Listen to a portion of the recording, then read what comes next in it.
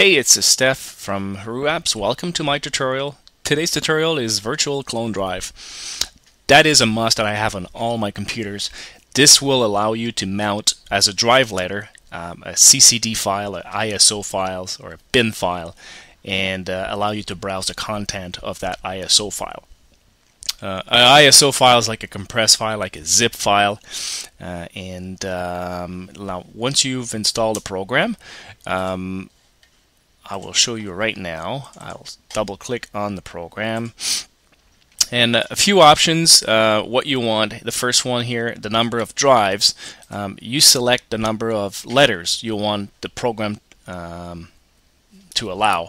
So I'm just going to put one because that's all really I need. And I'm going to click OK.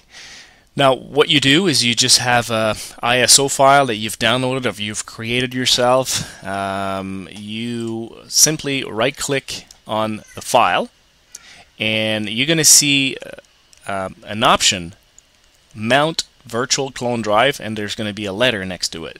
So I'm going to click that, and what this does, and it will, if I go to my computer, I go to the letter L.